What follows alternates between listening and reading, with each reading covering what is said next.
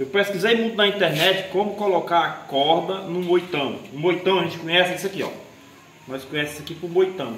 E arribar, puxar algum peso, né? Puxar pro alto, levantar alguma coisa. Aí ele vem assim, ó, sem a corda. E aí eu já pesquisei e não encontrei como é que coloca. Então eu vou ensinar para vocês como é que coloca. Viu? Coisa simples. Olha aqui. Filma aqui embaixo. Tem um que tem esse ganchinho aqui, ó. Você vai começar a botar a corda por ele, por esse do gancho. Põe eles assim nessa posição. Ó, viu? Aí você vai pegar a ponta da corda. Vai colocar ela por aqui, ó. Nesse que tem o gancho. Começa por ele. Vamos lá. Puxou a corda. Puxa assim um... Dois metros de corda.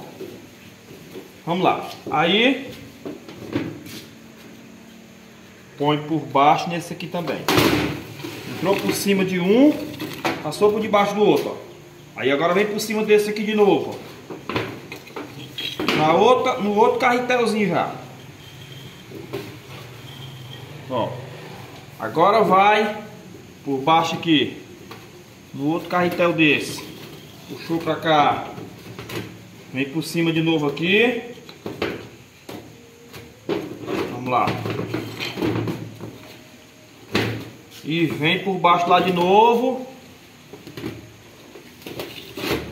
E agora só sobrou o ganchinho, ó, para você para você amarrar.